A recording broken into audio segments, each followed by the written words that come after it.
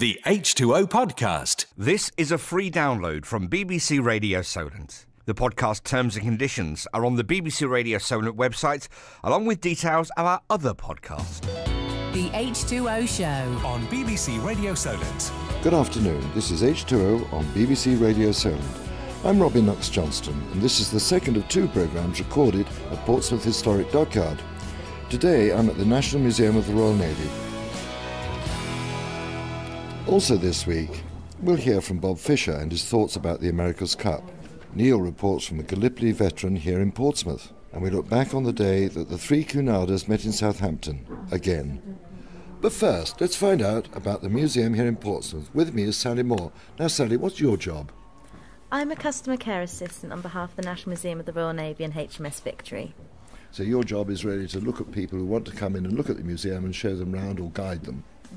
Indeed, we get a lot of visitors, international visitors, local visitors, people with questions about both their history and also the naval history at large. So it's quite a lot here, though, isn't there? I mean, how's this museum divided up? What sort of sections have you got?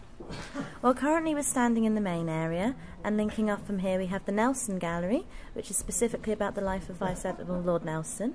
And then on the opposite side we have the 18th century sailing navy. So this area really links in, if you go to HMS Victory, this gives you further information about what the men would live like, and also what you'd expect to have Lord Nelson's life as well. And other parts of the museum? Well, as you go through the 18th century sailing navy, that links onto our modern gallery known as HMS. We wanted to really build specialist place to talk about the personal stories of men and women who served during the last hundred years of naval warfare. Hence the name HMS also stands for Hear My Story. I like that. Mm-hmm. And after that, any other sections we can go and look at? At the very far end of HMS, we actually have a changeable gallery space. Now, this is the only space currently in Portsmouth Dockyard that is able to cater for this. What we do is we intend to change the gallery normally every four to six months, different attractions, normally linking in to whatever is happening in the wider sphere of history. Now, at the moment, we have the Gallipoli campaign. We're doing a special exhibit about that, and that's going to be running up until the opening of Monitor 33, which will be on the 6th of August. Well, perhaps, Sally, you let me go and see the Gallipoli gallery, which everyone everyone's talking about at the moment, but more from here shortly. First, it's the America's Cup. It's never far from the news, and sadly, neither is controversy. World expert Bob Fisher has written an open letter to the organisers expressing his concern some of the decisions that have been shaping the next competition. Richard Latto has been chatting with him. Well, I've been involved with the America's Cup since I was a kid. Um, the men in Brightlingsea, where I was born, used to uh, sit in the fisherman's shelter, you know, tail end of the, the war, and here am I, a young boy, and they're wearing jerseys with Shamrock and Endeavour emblazoned across their chests. They'd been there, they'd been part of the crews of those boats that had taken part in the pre war years. So I first learned about the America's Cup from them. And of course, you know, when they told me how they'd been diddled out of it and all the shenanigans, I just wanted to know more. And so I started researching, and then the cup became another feature again. We, we, it was started again all over in 1958. Um, and I knew some of the guys who were sailing on the boats in those in, on Sceptre in those days, and I made it a, you know, my my job to find out more and more about it. And as they grew on, I got terribly involved, and in 1967, I sailed a catamaran called Lady Helmsman, and we won the Little America's Cup. Uh, and our sponsor decided that uh, he ought to give me a present.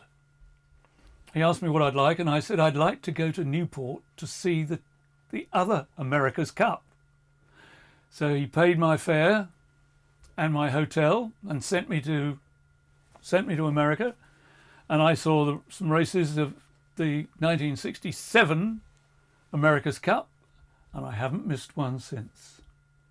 So I went again in 70, and then I went again in 74, 77, 80, and 83 when it changed hands. And then it was off to Fremantle for 87, and San Diego for 90, 92, 90, 95, and then it was uh, off to New Zealand. and I did the 2000 in New Zealand and the 2003 in New Zealand, and um, so that's when I was really into it up to my nuts, and really I couldn't think more about it. And it was about time I started writing a history of the thing, and I was during the Jubilee regatta here in 2001. I was walking across the marina with Bill Koch, who had won the cup in 1992 uh, and who had uh, put a team in of women, all women team in in 1995, uh, and he was still thoroughly, you know, cup smitten. And he knew that I was thinking of writing his history, you see, and he said, and we're walking across there, and he said, Bob, how's the book coming on? I said, Well, Bill, it isn't. Oh, he said, Why? I said, Well, Bill, I've got to earn a living. I've got a wife and, you know, to keep and all this sort of thing, and, I, you know, it's, it's hard. He said, I think you'd better come and see me when you're next in America. When's that likely to be? So I said, Key West Race Week in uh, January. Yeah, he said, um, what I'll do is we'll we'll finalise this, and if you come, if I'll send a plane down to Key West, pick you up and bring you up to West Palm Beach, and get you back to Miami, so we can have a day talking about this before you go home. So I said, oh yeah, that's right, a nice bill, thank you very much. And so I went over there, and Bill came up with the idea that he ought to fund me to write this book, and he did. And you very proudly are holding A copy. a copy of the book in your hands. They're very, very large books. They're volume one and two, um, beautifully bound. You must be so proud to have finally completed Oh them. yeah, I am very proud to have done that. But you know, this one only goes to 2003. Well, where's the volume three then? Well, volume three is held up at the moment because I've got to get some clearance on some copyright in order to get it on, on with a with a publisher, and then I've already started volume four, Wow. Well, you which said. I hope is going to be called "The Cup Comes Home." Uh, well, fingers crossed. Well, you certainly are an authority on the America's Cup, um, and you've now written an open letter to the organisers of the Cup with some concerns in. What are those main concerns? that they're not doing anything that's right. They, they, the organisers, which is uh, the America's Cup Events Authority, which organises it, um, which is run by the defender, the defending club, effective, essentially. But in this case, the club was bought out of bankruptcy by Larry Ellison, who could buy anything out of bankruptcy. So he really dictates what goes on. But his dictate is to a former sailor, Russell Coutts, who's a New Zealander who won, has won the cup on several occasions, and who, um, who he won it first of all for New Zealand. He defended it for New Zealand, and then he joined the Swiss team and won it for them. Then he had an argument with the the team's owner, and uh, was bound by uh, the club rules that he couldn't go to another team for that one, which was 2007. But immediately that was over, he joined Oracle and um, came up with the ideas that allowed Oracle Racing, which is the Larry Ellison team for Golden Gate Yacht Club, to do what they wanted, which was to take them on on a one for one basis in the biggest boats there's ever been seen in the America's Cup. Two multi hulls, one 90 feet long and uh, nearly as broad, and a trimaran that was even bigger with a wing sail that was. whose wing was bigger than the, the wingspan of a seven, the whole wingspan of a 707. Um, it was just ginormous, over 100 feet in the sky. So yeah, um, it was huge, and yeah, they raced, and it was pretty obvious who was going to win. And um, yeah, there was all sorts of shenanigans in that one. So that that's you know that that fills up quite a lot of uh, volume three, and uh, then you know after that he Russell went on to become very much the the leader of the pack, and um, so he was the manager the CEO of ACEA.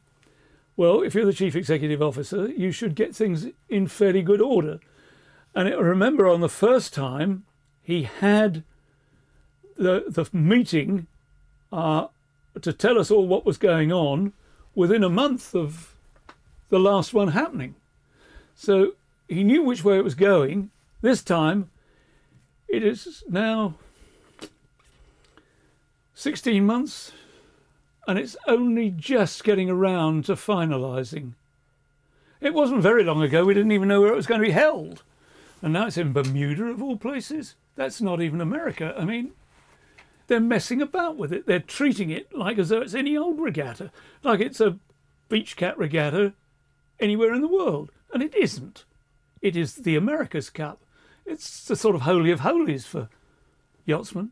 It is not, as uh, a former sponsor put it, a beach cat regatta with with French fries and beer. It's a champagne event.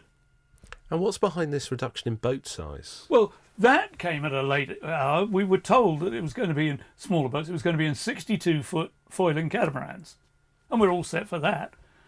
And then, uh, a month ago, they decided that it should be in 48 foot catamarans with foils. Why? Oh, it's going to be cheaper. It's going to be very little cheaper to do that. But it really has upset one of the major parties, um, Patrizio Bertelli, the head of Prada, who has his team Luna Rossa, has been in the Cup on four previous occasions um, and was due to go again and had a team of 90 working down in Cagliari in Sardinia. I mean, it was really, there were 40 in the design department, 40 in the sailing department, boat builders, and all sorts of things. And they had 12,000 square meters of space. I mean, that's huge. And you, you go into this, I, I'd been down there and saw it. And, you know, it was going flat out, full chat, and he pulled the plug. Some teams, though, including Ben Ainslie's Racing, have been supportive of the decision, haven't they? Well, I'm sorry. You know, this is one when I disagree with Ben. I think Ben's going to win the cup, however, but you know, this is not what it's about. And to go that small has nothing. I mean, the America's Cup was something you looked up to, up that way, and that way. But you know, you can't say these are the little boats that are only slightly bigger than the little boats they're going around in for their America's Cup World Series. An unnecessary expense, I have to say that.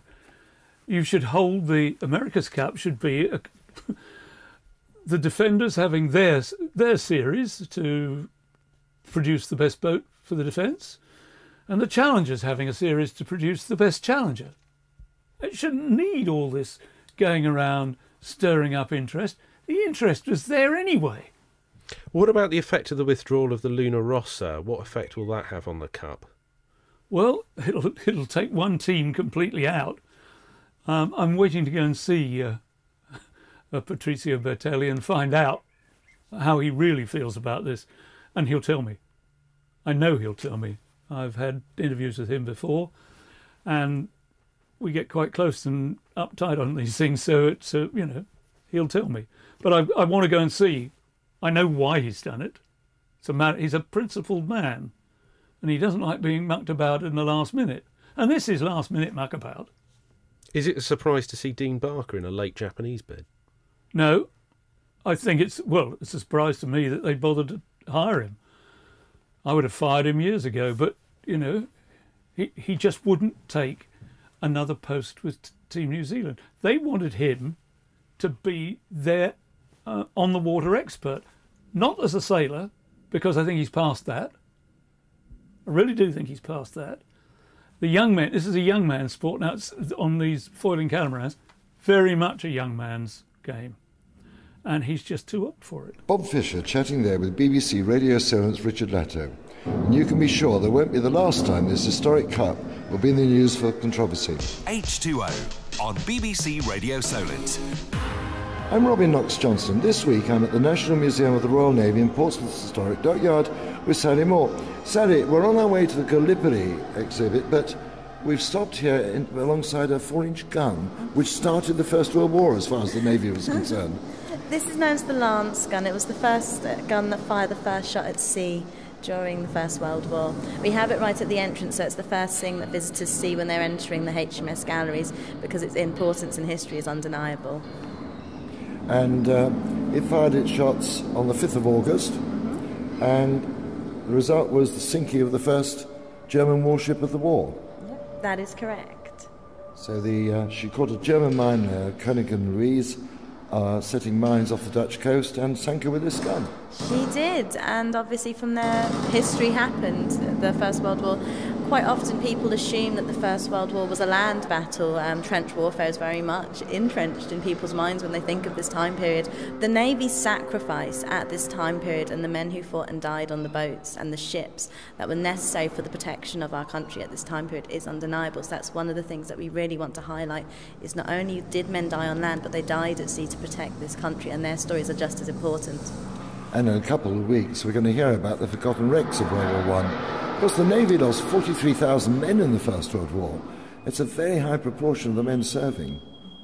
Indeed, it was. One of the things we wanted to do for the centenary, uh, we actually had a community project in which poppies were knitted by the community at large, including the ship badges for ships that were sunk and men who died, and we had it hanging around the Lance gun in memorial to those who did lose their lives.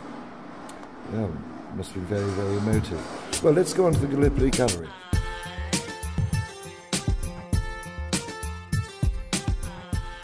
I'm with Sally Moore at the National Museum of the Navy. And Sally, we're in the Gallipoli uh, section, this new section you put on to celebrate, or rather commemorate, the attacks on Gallipoli. Um, seems to be quite a lot here, actually, doesn't there? I'm, I'm just watching a, a movie here showing a warship sinking, which I don't like the look of. Uh, and there's some men in the trenches. But it was a major, major amphibious operation. Indeed, it was. They believed that they could push through the navy and end the war much quickly.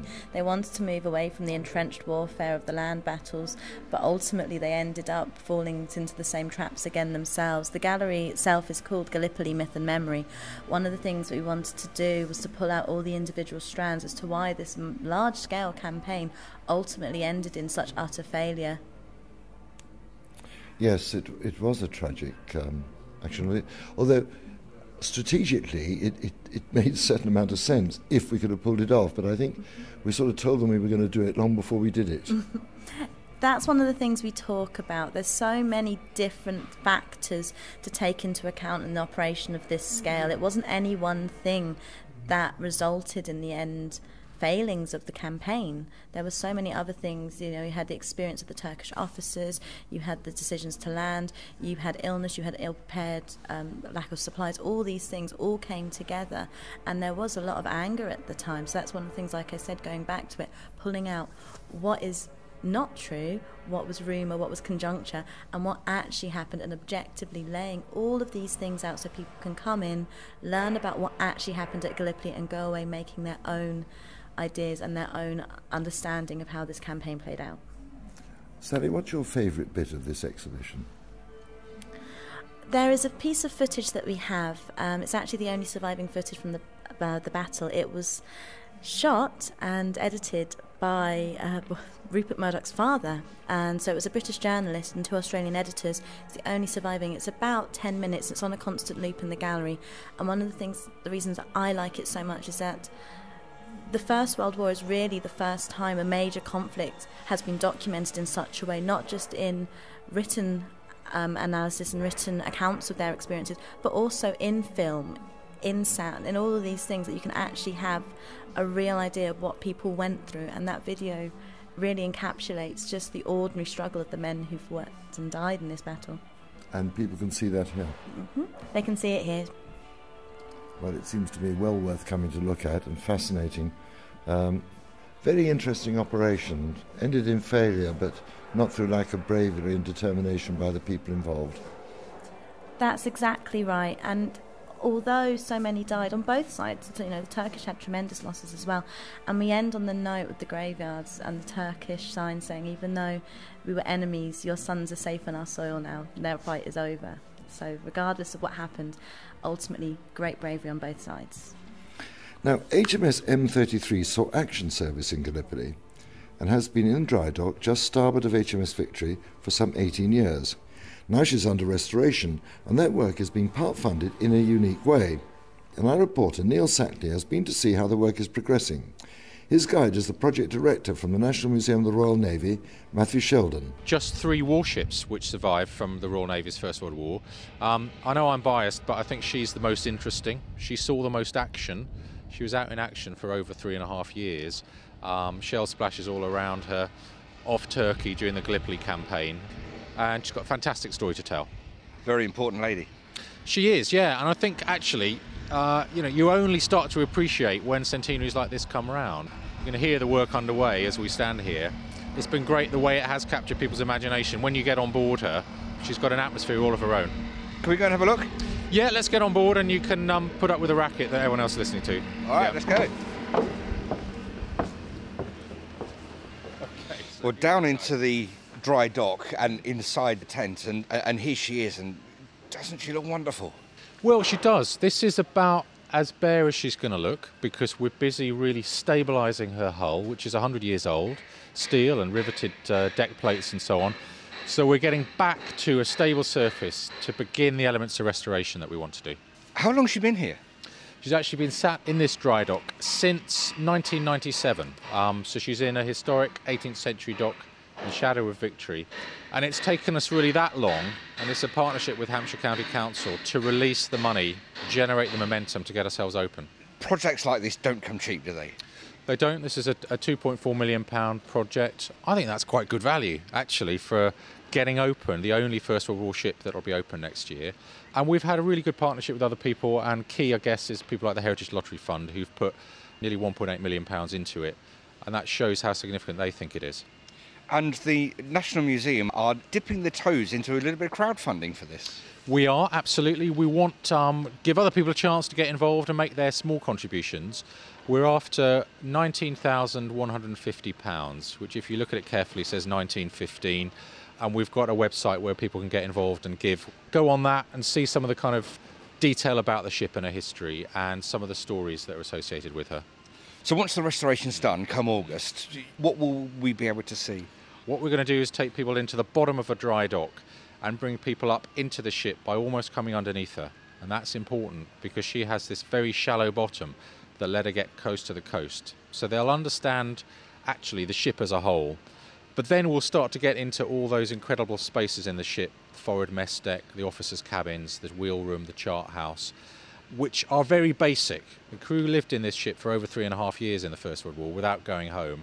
So they'll get that sense but they'll also get a sense that she's the only survivor from this Gallipoli campaign. And so we're going to have some quite amazing AV presentations in her interior that bring that battle alive to people. So it will be, I think, a unique visit even on the fantastic historic ships we have here in Portsmouth already. It'll be something different. And it she'll be presented, I think, warts and all. Matthew Sheldon talking to our reporter Neil Sackley on board HMS M33. And shortly you can hear what happened when he took Neil on a tour of her firepower on deck and onto the bridge. The H2O Show on BBC Radio Solent. I'm Robin Knox Johnston. This week I'm at the National Museum of the Royal Navy. Now, Sally Moore, who's showing me now round. Sally, where are we now? Robin, we're currently in the core of our HMS galleries. So, and what have you got here? Well, we're currently standing next to a Bofors gun, but this is the central linking area. So the area we've just come through contains all our artefacts regarding the last hundred years of naval warfare. The area we're about to go through goes to the reflection area where people are encouraged to share their personal stories and experiences of their time within the Navy, and also that leads on to our Gallipoli exhibit. So you've got it all here, haven't you? And here's a what we used to know as the 4060, mm-hmm. a Bofors gun uh, an oldish one because it hasn't got the hydraulic controls on it, which I'm more used to. Indeed, no. This one's still using handles. Two men to turn it, and then three men to load it from the side. Yes, it was heavy on manpower, wasn't it? Basically an anti-aircraft gun, of course. And uh, we just festooned our warships with them. But I see you've removed the seats, so you can't actually sit there and operate it. You can't currently, but we do encourage people to come down, especially children. We like to get them hands on with our exhibits in order to get an understanding of how the equipment would have worked at this time period. And as you all know, small boys love playing with guns, so of course this is something they really enjoy looking at. You may not have noticed though, if you turn around to the other side, to the ceiling, we also have an aerial display of all the different kinds of missiles from the time period and also nautical warfare as well from all the different time periods. So we try and really link in the changing technologies men would have used in a very short period of time. Yes, it really is. You covered it rather well, haven't you? From the Bofors to the missiles. It's, mm-hmm. that is really very impressive. The Bofors was cheaper to operate, however. H2O on BBC Radio Solent. More from here shortly. But first, let's look back at an event that happened on Southampton Water last weekend. In what has become a regular occurrence, all three Cunard Queens were together, and it was for a special reason. Neil Sackley looks back on the day. The three ships arrived from their respective world cruises to a dull and grey spring morning. The meeting of the vessels marked the start of Cunard's 175th anniversary celebrations. It was also a rare opportunity for the three captains to gather together. Commodore Christopher and Queen Victoria. Captain Inger Thorhauge, Queen Elizabeth. And Captain Chris Wells on the Queen Mary.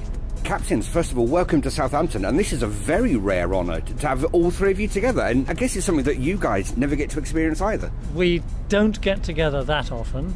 Uh, this is only the fourth occasion in uh, all the years that we've had the, the three Cunard Queens that they've all been together here in Southampton. And even if we get all three ships together in the same port, we don't always get all the captains together. And thankfully, the sun's just come out right on cue, Christopher. Absolutely, that forecast paid off.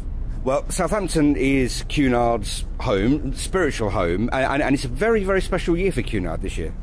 Yes, Southampton is our home port. Here we are at the end of our world voyage and this 175th anniversary of Cunard crossing the Atlantic. This is our home port. This is where we are based. This is where we've been based for uh, more than 60 years. And this is where the ships uh, come in and out of.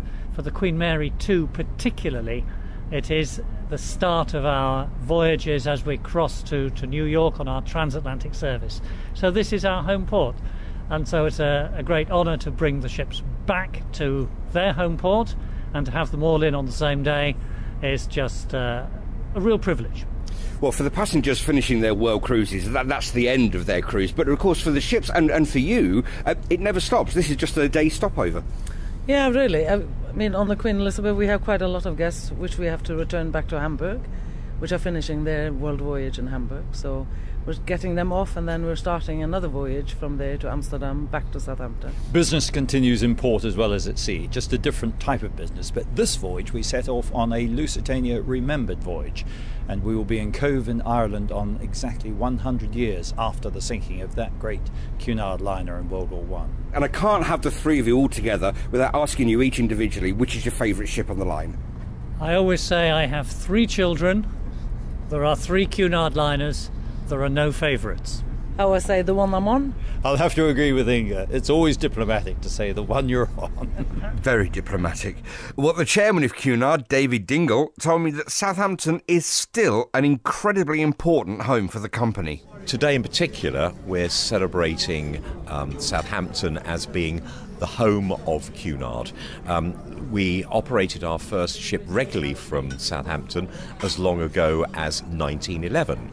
Uh, we moved our company headquarters here in uh, 1966, and uh, nowadays all three of our ships, uh, Queen Mary II, Queen Elizabeth, and Queen Victoria, are home ported here in Southampton. So Southampton is very much our home, and we're delighted to be here.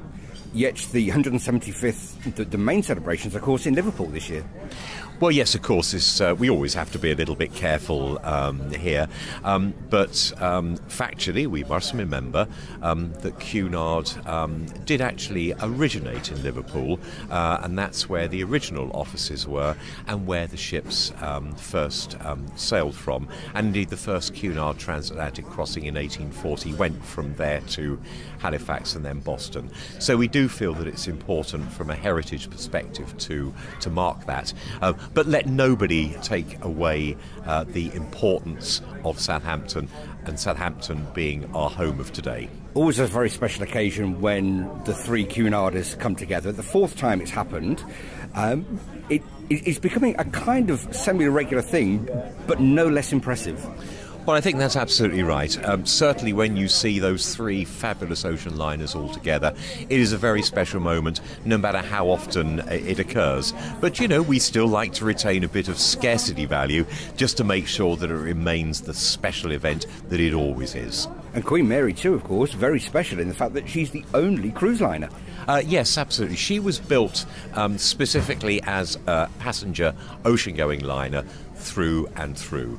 Um, and she has a unique design. Um, is uniquely capable of um, travelling at speed through uh, any ocean anywhere in the world. And uh, she is a, a, a, very, very special ship indeed. David Dingle, Cunard's chairman. Well, on Sunday, the Queens were just three of the ships that were in. Not an unusually busy day for the port. Southampton's harbour master is Captain Martin Phipps. Um, we do occasionally have six cruise ships, and two years ago we had seven cruise ships in, so we're able to do it. Um, from the marine side, it's it's not too much of a problem. Normally, it's just a case of um, sorting the traffic out, and then we give them slots and fit them in. More of a problem from the land side with the sheer sheer number of people coming into the port and into Southampton. The cruise ships schedules are planned possibly up to years ahead. Uh, yeah. How far ahead do you know what their plans are, and, and, and how far ahead can you work? Um, a, a fair distance ahead. I mean, we've already got most of the bookings for 2016 already. Um, which cruise companies need to do because they need to print their brochures, advertise cruises, that sort of thing. And also, we made to make sure we don't have too many in on one day, so we've got the terminals um, available for them. So the planning for that is done usually a, a good year ahead, probably. So 2016, we've got most of the bookings already. There will there will be some changes, but for this particular event, it's uh, you know it's, um, Cunard's 175th birthday this year. Um, so we started um, planning this with Cunard probably a couple of months ago, looking at what they wanted, and uh, this this for us was relatively easy operation to do. Um, the, the, seven we had with P and O a couple of years ago was obviously took a lot more planning, mm. and this one, uh, that involved um, royalty as well. So um, pretty sort of um, standard marine operation for us. On these set piece events, how much of it is what the company wants, and how much of it is what you tell them they can have? Um, we we try to always please the customer, so we will try to do what they want to do. There may be occasions we have to change their plans very slightly because obviously we have other customers in the port as well, and it's trying to make sure that it that it all works. But um, not normally we can accommodate most people's wishes. Of course, it always hinges on um, getting the passengers on board, and you only need an accident on a motorway somewhere, and a couple of coaches go, you know, get stuck in a jam, passengers don't arrive, and the ship can be delayed uh, Sunday all worked fine. You know, the um, the Anthem of Seas and the um, Balmoral able to get away on time, which left left the three queens to um, sail and do their uh, convoy out. So the plan worked.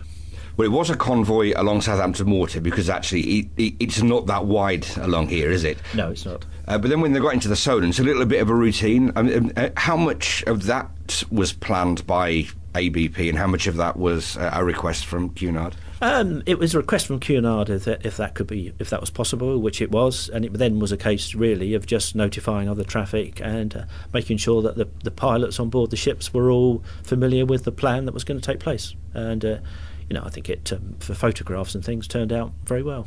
Of course, all that planning has to come together and work on the water on the day.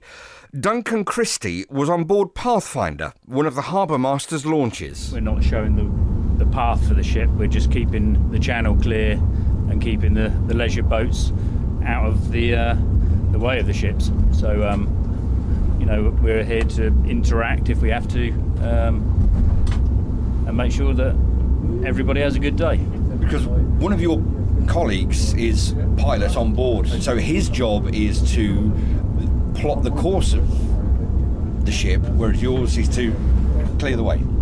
Yes, yeah. The, our pilot is on board for the safe navigation of the ship from when it leaves the port of Southampton alongside the dock um, until the NAB channel Nab Deep Water Channel when the pilot is disembarked onto one of our designated pilot boats, and then the ship will carry on on its way. That's Neil Sackley reporting from on board the Harbour Masters launch, watching the three great big Cunard liners.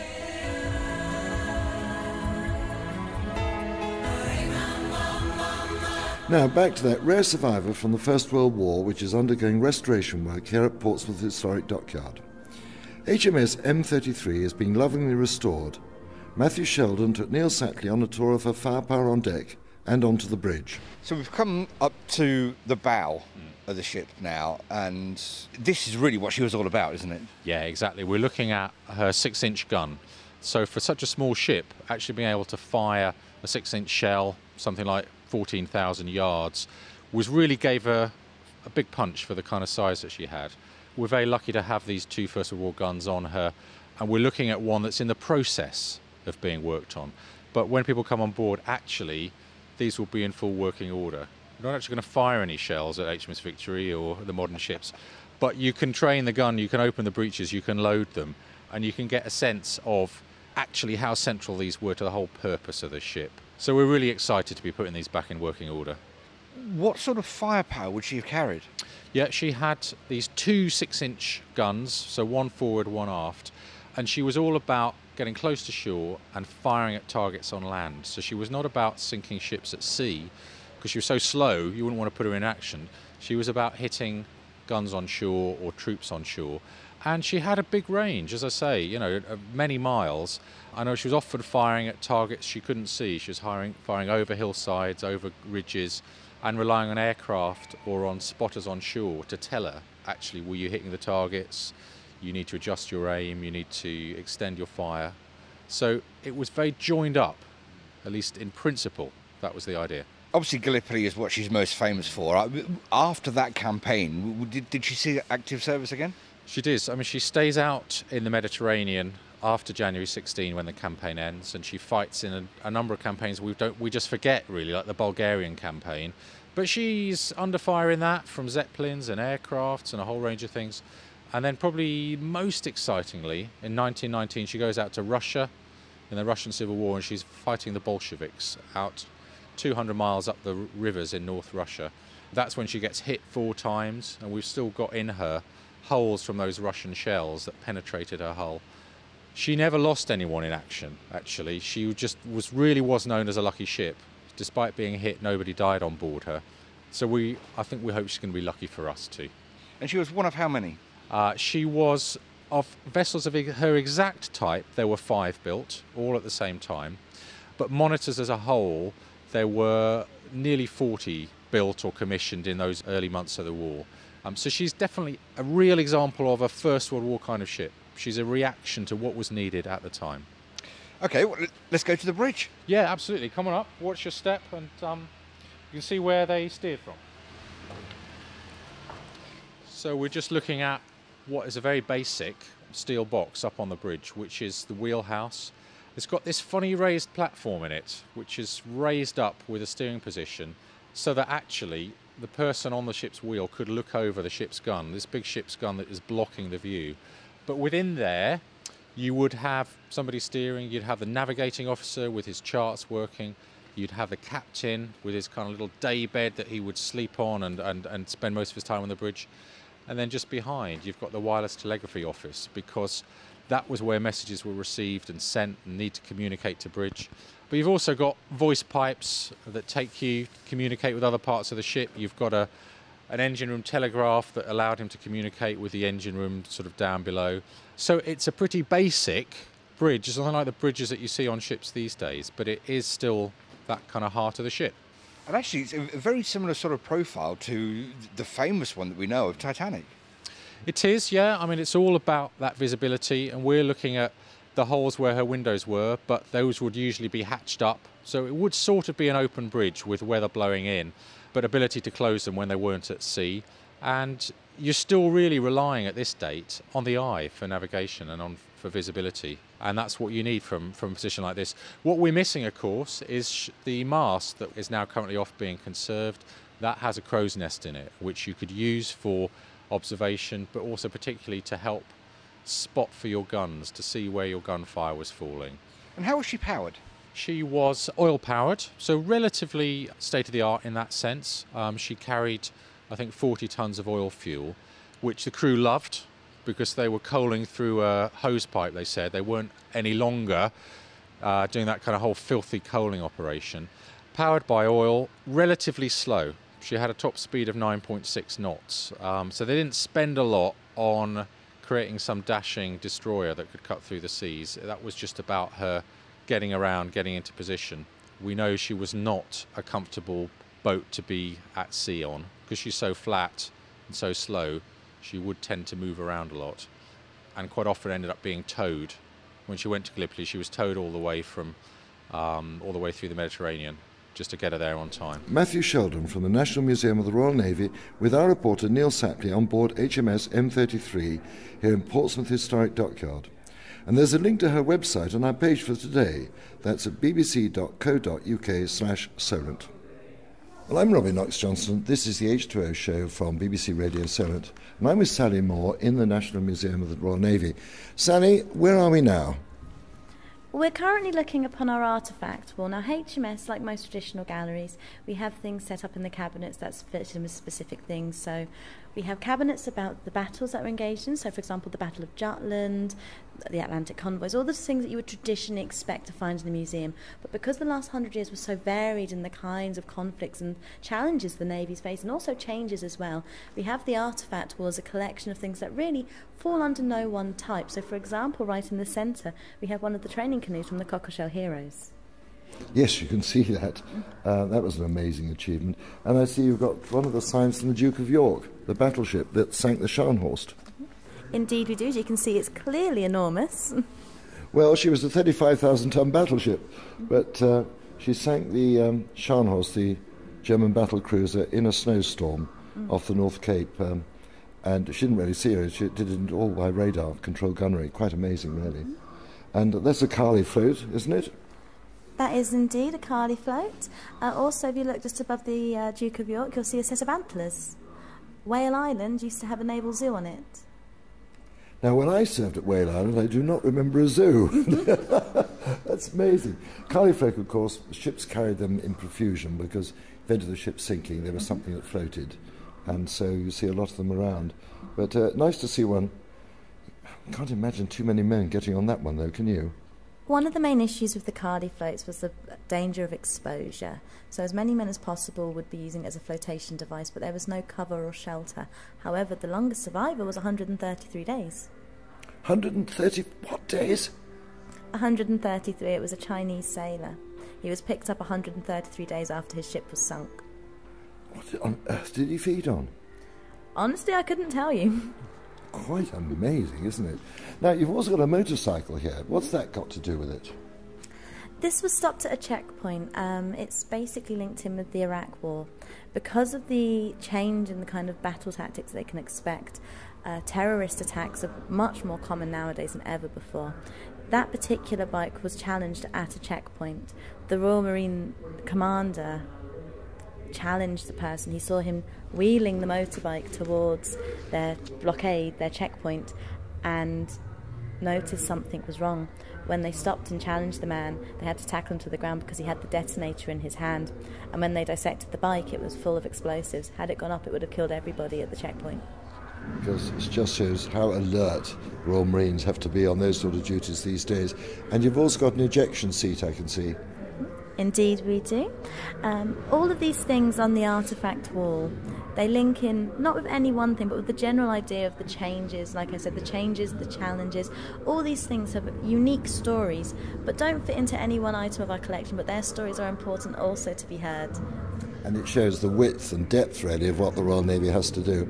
Sally, it's been wonderful talking to you. Thank you so much for sparing the time. I'm sure there are lots of people who want to come round and see this, and I'm certainly coming back again. Thank you. Thank you very much, Robin. It's been lovely to meet you.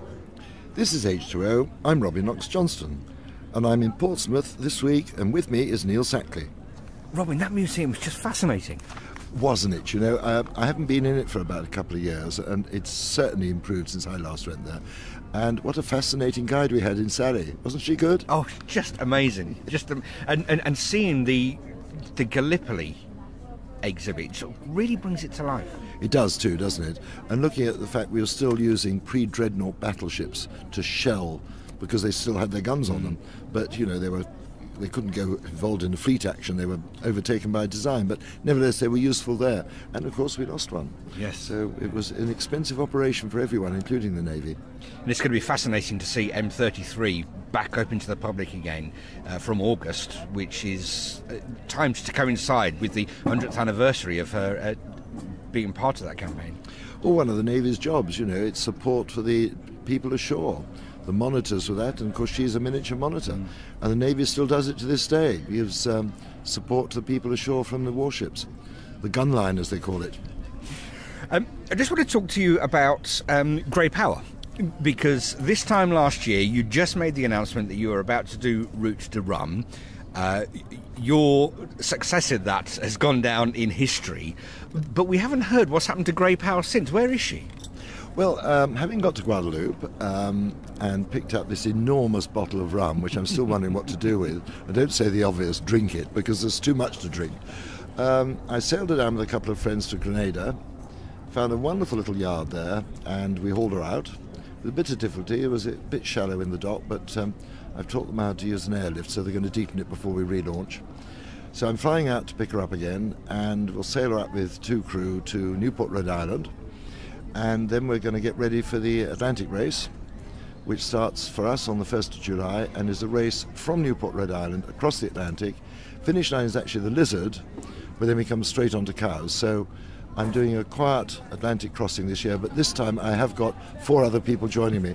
And it's a highly experienced crew. I've got two solar circumnavigators in Bernard Gallet from France, Dilip Donde, commander of the Indian Navy, who's first Indian to go around the world, David Asher, who was Commodore of RORC, and a friend of mine from Monaco, Josh Warren. So it's a good crew. All of them are close personal friends, so I think this is going to be a fun voyage. And as we found out t- today elsewhere, you're actually going to be racing against Stuart Quarrie. Yes, it sounds like I will be. And I don't underestimate Stuart. He may be quietly spoken, but he's very experienced. so we're going to lose you for a few months uh, from the programme, but uh, hopefully we'll be able to catch up with you en route. Well, we should be able to if, if all the electronics are working. You know my views upon, about electronics in a boat, but if they're working, it should be quite easy to patch through to you and uh, keep you up to date with how we're getting on and what the level is in that blinking great bottle of rum.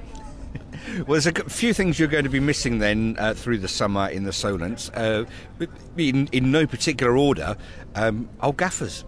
I'm going to miss the old gaffers, and I'm also going to miss the great big regatta they've got in June for the Royal Yacht Squadron's bicentenary, which I'm very sad to miss.